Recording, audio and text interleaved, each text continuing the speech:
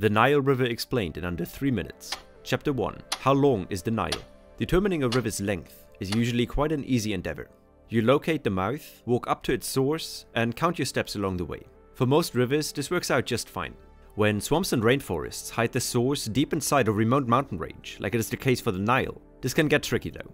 While the Blue Nile, its major tributary, has been well understood since ancient times, the main stem, also called the White Nile, has remained a mystery until modern times. For the longest time, Lake Victoria was considered the source of the Nile. This however neglects the fact that the lake itself is fed by major rivers. The longest one of these, the Kagera River, which itself has this tributary, this tributary, and even this creek in the Rwandan mountains, competing for the title of the furthest source of the River Nile.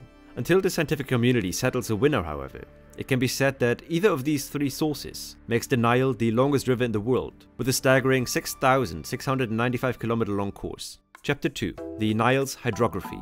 Regardless of which headwaters determine the true source, the Nile starts off somewhere south of the equator and flows all the way to the 31st degree latitude, passing over one third of the northern hemisphere. Over this length, the Nile drains an area of over 3,200,000 square kilometers, representing 10% of the entire African continent. Considering these vast distances, it is no surprise that different sections of the Nile experience vastly different climates and topographies. The White Nile starts off in a tropical wet savanna region, giving it a constant flow of water year-round. New tributaries and evaporation keep the water levels in balance, until its confluence with the Blue Nile in the center of Sudan's capital, Khartoum.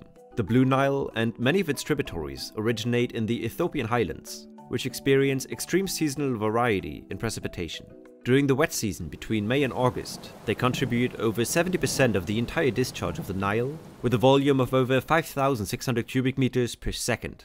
The dry season, on the other hand, can see a flow of as little as 2% compared to the peak, and in extreme cases can even dry out completely. The seasonal variations heavily influence the downstream life around the River Nile, bringing us to Chapter 3 Agriculture at the River Nile. A total of 257 million people live in direct proximity to the Nile River, and for thousands of years they have worshipped and depended on the river's water, fish stock, and annual sediment flow.